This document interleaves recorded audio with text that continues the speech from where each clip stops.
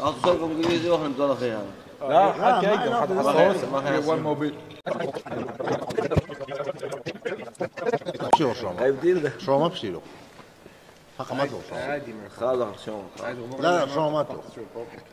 لا لا من دي شو قلت لي خايلك جايز والله قلت له اخرتها قلت له اخرتها هاي هاي هاي هاي هاي wait. We're trying to film YouTube. What are you guys doing? Shut up. Anyway. You're sitting, hey, hey, you're sitting under a civic, like a masterpiece from the gods. Oh. Guys, come on, go, get, get out of here. Come on, go, get, let's go, let's go, let's go. Get out of here. Get, come on, go, go. Guys, psh, take your oh. liver, your Cheezels. Hey, guys, let's go, let's go, let's go. Come on, come on, come on, come on, let's go. Man, take your Cheezels. Get out of here. Come on, guys. Oh, boy. لا لا that was the whole thing. Uh, so I guess welcome back to Hyper.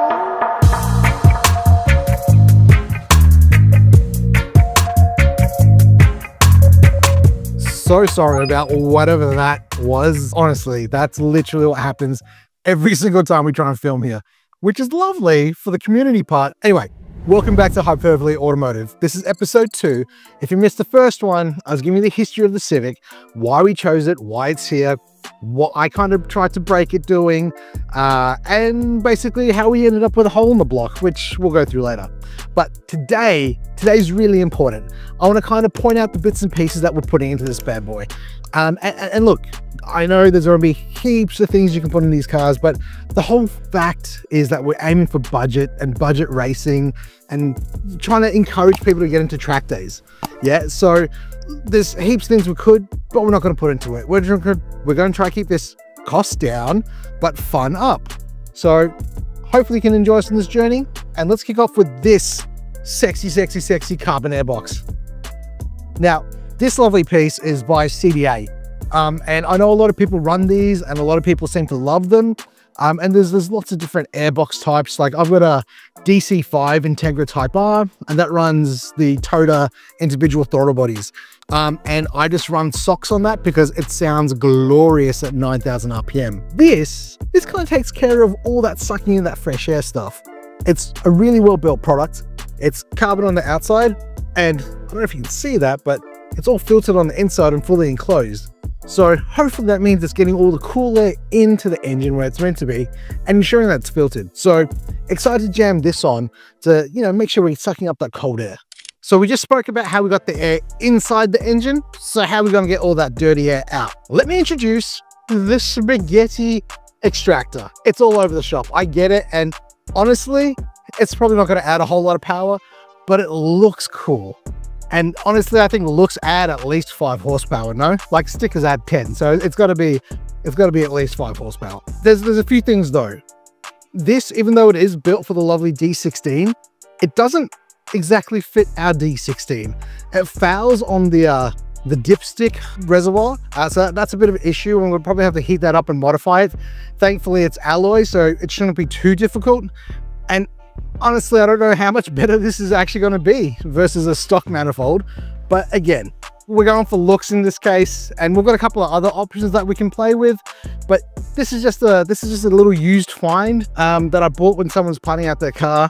Never run it. We're gonna run it now. and gonna see what it sounds like, uh, and and hopefully we'll be decently surprised by the power it makes. I haven't gone through what's in the engine yet and why we need to look after it, but this is hypercritical. So if you're investing money into your motor and you're going to be tracking your car, it's probably a good idea that you look after the oil inside the engine. And the best way to do that is to invest yourself in an oil cooler. These are not too expensive. Uh, you can pick them up on all kinds of aftermarket websites. This one is a Cetra. Don't crucify me if I said that wrong. I'm not that educated or that fancy, but it looks cool. It's super light.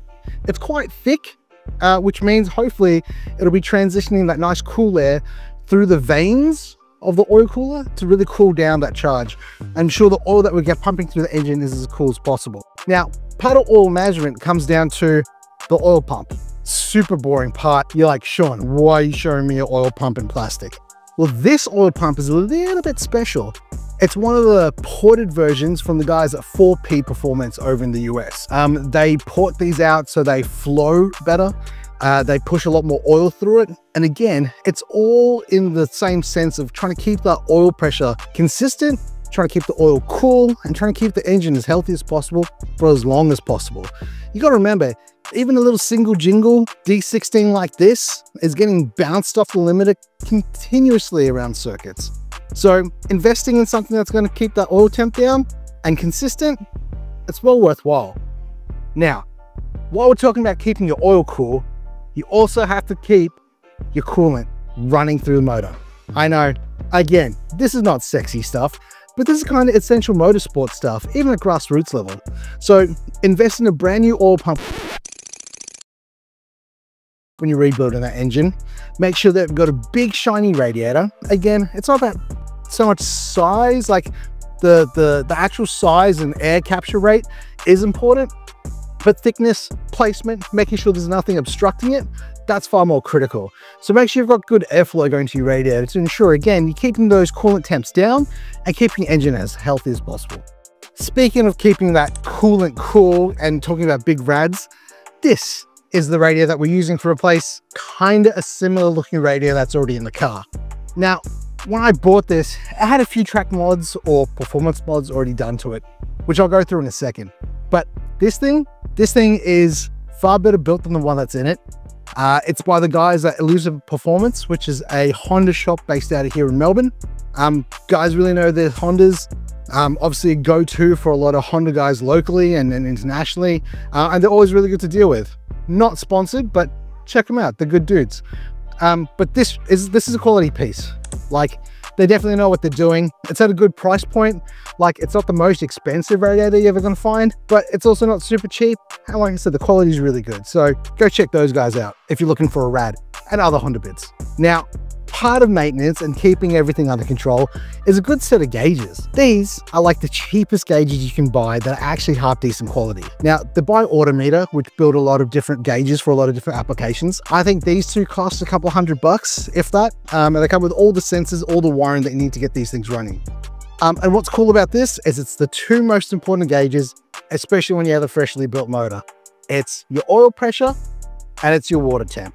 You want your water temp real consistent and within zone. You don't want too cold, you don't want too hot. It's a bit like that Three Bears story, right? It's got to be just right.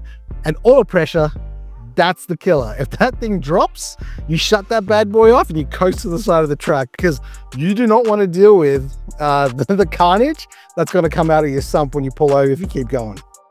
Now that we've got the boring stuff all out of the way, the important stuff, but boring stuff, let's look at some of the fun, completely unnecessary things that are going into this car. This, guys, I know we're looking at a piece of ribbon. Well, it's, it's like a bit of a seat belt. But this is probably going to be the most used part on this entire build. This is your tow hook. This attaches to the front or the back uh, attaches to the chassis. So when you end up in a gravel trap or off the track or backwards on the middle of the track and your car doesn't want to start again, this is what they're going to hook you up to and drag you off to safety. I haven't had to use one too many times, but when I have, I'm glad I've got one. Um, so definitely invest in a half decent one and put it somewhere that's not going to rip off half your car when the tow truck driver quickly attaches and zooms off. This, this is super unnecessary. And it's not what you think it is. I promise. Uh, this is a this is a short shift kit uh, by the guys at uh, Jack Spanier, um, who, who built a whole bunch of random and whiz bang Honda stuff, and for other cars too. It's it's it's a pretty quality piece, um, but effectively it's it's got a lockout, so you're not chucking into reverse while you're racing around the track. Um, it's it's it's cool because it looks different, but honestly, it's got that whole touring car like sequential vibe. Uh, so I'm, I'm down for it. You know, do I need a massive gold rod in the middle of my interior? I don't know, you tell me, maybe I do.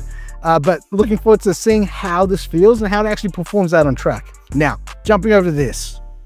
This is a controversial piece. This is the underdrive pulley that runs the motor. It effectively attaches to the crank It's got the keyway. There's so many theories out there.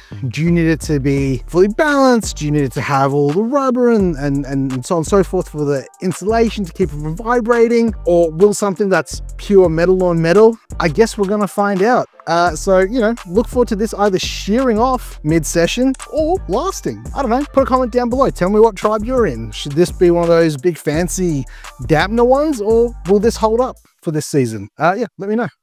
Now, this is one of my favorite bits. Totally geeking out on you guys. Huh? Huh? Game Boy, right? Wrong. Wrong. Pay attention. No, this, yeah, Game Boy shell, uh, but it's been modified to be a speeder that works off GPS. Yeah, I know. Super unnecessary. The car has a speedo that I think works from memory, but this, it's a Game Boy and a speedo. And it's like a USB, I can plug it into whatever and just feel retro af and cool as. Okay, go on, light me up, flame me in the comments. I don't care, I like it. Stuff you guys. I know I said budget, but I think this is really important and I'm really excited to see how this goes out there on the track. What we're looking at is a dirty gearbox. What's inside that counts, which is something my mum always said when people said I looked funny. Now, that's probably why me and the gearbox get along. But inside this gearbox, special gear ratios are done by the guys at HGG.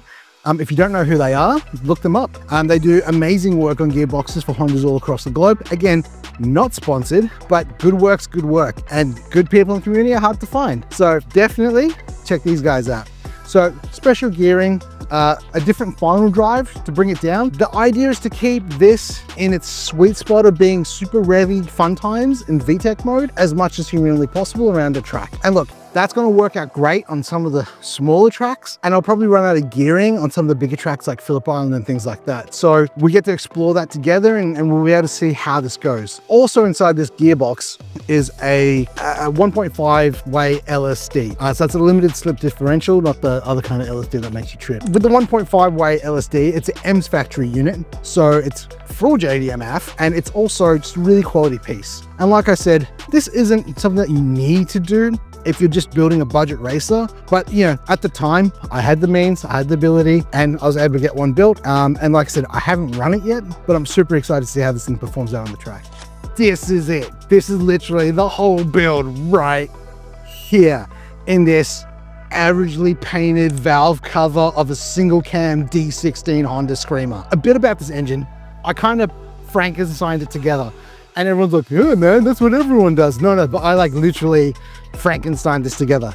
The block is a D16 Z6 or Z6. This block was actually imported from the US. Why? Well, because it was the only one I could find in a short period of time. What went into that block are some, you know, decent internals. Again, they're slightly better than stock. Are they fully forged and I-beamed? And I-beamed, talking about the con rods and stuff? No, but they are forged and they are shot peened um, the crank is knife edged, uh, which means it should be slicking off the oil get that, that gets stuck to it. You need the oil to get stuck to it. But again, it's to build that efficiency and that usage around the oil. Um, and, and again, just to keep that oil flow moving and keeping it within that, that right oil pressure zone that you really want to. Um, and then the head, the head I was, I mean, I about what I was going to do. Do I just get a standard head? Do I modify? So many options what, what we ended up doing was I ended up getting this head that was already built um, out of Perth. Um, and it was already ported. Um, it already had some cool stuff done to it. Uh, I put in brand new springs, brand new valves, all high performance stuff. Because in the middle of this is a Skunk 2 Stage 3 race camshaft. And even if I had a camera here, it's actually really hard to tell, but the lobes, like the VTEC lobe on this thing is massive a bit like the jungle, which is also massive, but it just clears the cradle by like teeniest, weeniest poofteenth. But what I'm trying to say is it's a really lumpy little aggressive cam. So I'm excited to see how this performs out on the track and what it does for that VTEC range. Like, will it be too screamy? Will I fall out of the power band? Will it take me forever to get back into the power band? Will I be able to rev this to 9,000 to 20,000 RPM? Who knows? We're all gonna find out together. Um, but as you can see, it's missing a few bits and pieces. There's still stuff on the way that are going into it. Um, we've already got the clutch that we're going to take out of the old engine, um, and that's a custom Exedy unit. Uh, which was supplied by Exedy Australia back when this car was first running. Um, and it's got a lightweight flywheel and that kind of fun stuff too. But motor-wise, like I said, built bottom end, nothing too crazy, decked, shot peened, all that kind of stuff. And the head's been flowed um, and will be matched to the um, Skunk 2 intake manifold that is coming. Um, I've got a huge, I think it's like an 80 mil throttle body. I feel that's probably gonna drown the engine in air. So I'm actually gonna be running a 66 mil initially, uh, just to kind of see that we can get the tuning right and make sure the car doesn't splutter and spit too much and is actually drivable. Um, so all things that we're going to explore and play with over the course of this entire experience. But super excited to get this into the into the car as soon as possible, which you're going to stay tuned We'll be definitely next episode.